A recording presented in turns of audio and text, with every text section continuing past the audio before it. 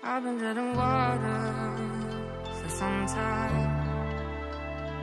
Picking up the parts of all my life. Didn't get to solve it this time. How will I?